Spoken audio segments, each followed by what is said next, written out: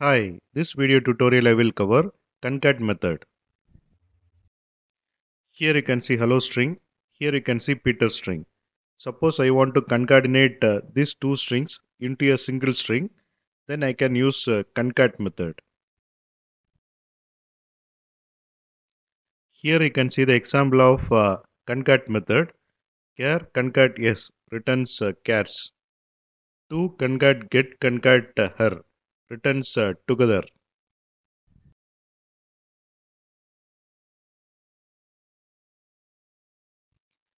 Here I have declared the class uh, concat demo. It has a main method.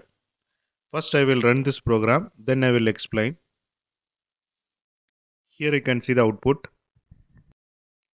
Using concat method, I am concatenating string 1 and string 2.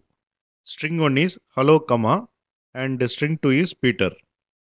And uh, this concat method returns uh, string 3 which is uh, concatenated string hello comma Peter. Here I am concatenating uh, three strings. To concat, get concat, her. It returns uh, string 4 and string 4 is together.